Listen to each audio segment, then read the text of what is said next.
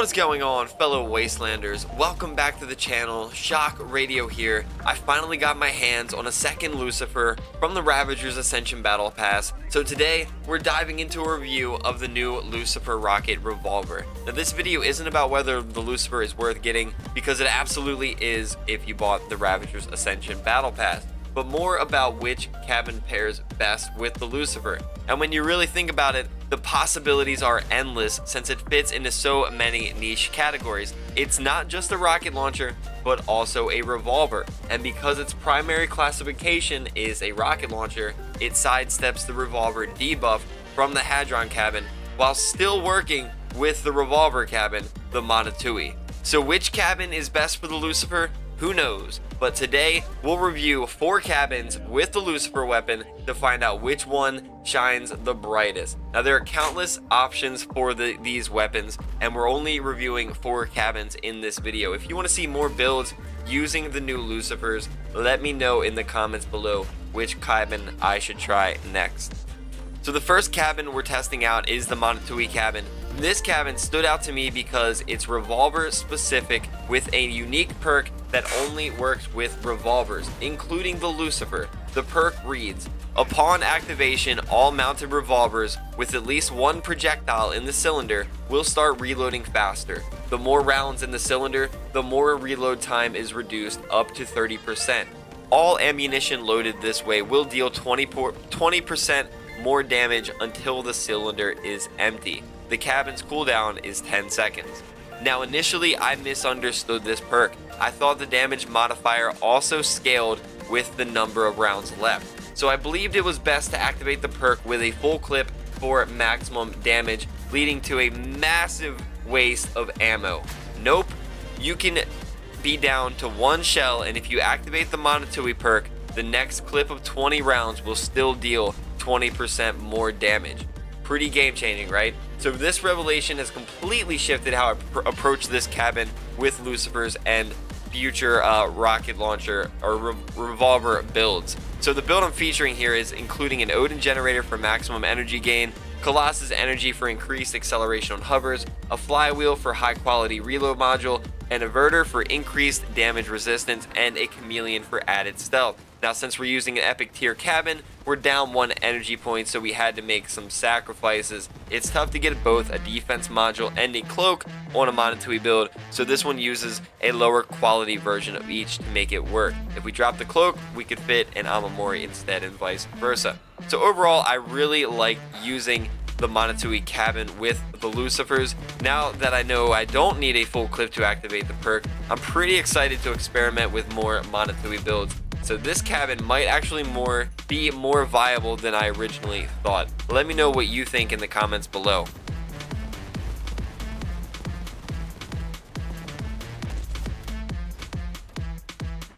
So next up is the crowd favorite Harpy cabin. So I asked you guys on YouTube uh, which cabin you think pairs best with the Lucifer, and the Harpy came out on top. The YouTube poll only allowed for five options, so if you have other suggestions, let me know in the comments. But you guys absolutely killed killed it with the Harpy votes. Now the Harpy cabin increases the volume of additional ammunition by 50% from ammunition and microfactory type modules, but also boosts explosion radius by 20%.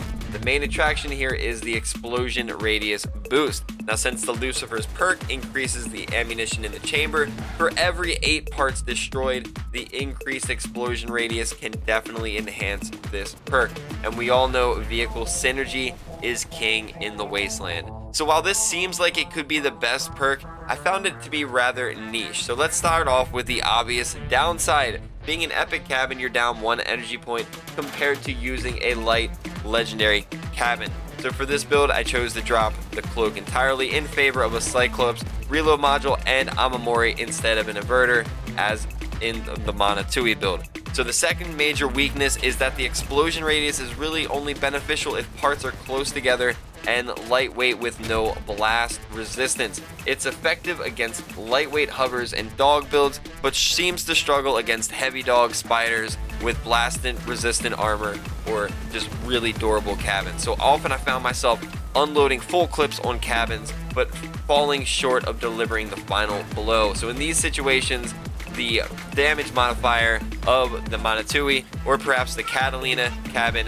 might outperform offering more consistent damage against heavier builds. That being said, I really enjoyed running the Harpy cabin, and if you have it in your arsenal, it's definitely worth a try. Just focus on lighter armored enemies when possible.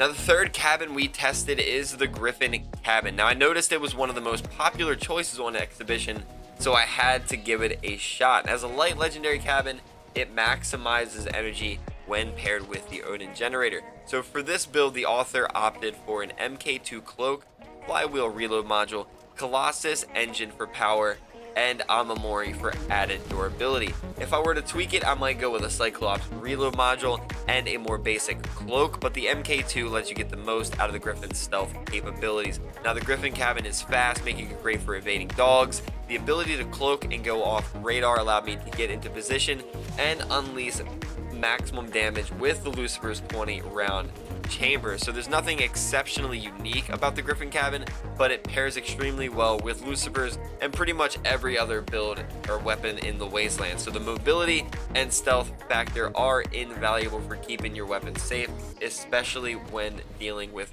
large hitboxes. So finally, we tested out the Kami cabin. Now this one stood out to me in the exhibition, and with the syndicates potentially making a return to the wasteland, I had to see how a Neon Dragon build would perform. Now again, as a light legendary cabin, it provides maximum energy. Now this build includes the Odin generator, Colossus engine, Amamori, Cyclops reload module, and Oculus radar. No cloak on this one. So the Kami's cabin perk is particularly interesting, as is most legendary cabins have quite a uh, a broad perk that can go with most weapons in the wasteland. The Kami cabin perk reads, when activated, makes the armored car invulnerable to thermal and hostile effects and deactivates projectiles attached to the vehicles for 4 seconds. Cooldown of 16 seconds. Now this perk is a game changer, particularly against fire dogs, negating their 100% increased damage to heated parts. Combined with the cabin's high speed and power, it becomes an exceptional counter to fire dogs. The perk also nullifies the effects of sparks and flash, so your reload isn't negatively impacted and you can quickly escape their grip. It even counters cryo damage and destroys attached projectiles like the uh, Akari. So while there may be a limited number of legendary cabins, the options available have perks that are incredibly useful for the Lucifer rocket revolver among other weapons. So overall, I'm really impressed God. with the Manitou and the Kami cabins. They might be my favorite so far. There are still plenty of cabins to try with these insanely fun weapons, so I definitely want to hear what you think in the comments below. I just think uh, if you weren't, you need to be hitting cabin really to take enemies out, so I didn't feel like the, uh, the, the explosion radius of the Harpy was everything you really needed compared to having that overall increase in damage if you can time it right. And the Kami cabin was just so good against um, dogs and things like that, was just so good. So what cabin should I try next with the Lucifer Rocket Revolver? Let me know in the comments below.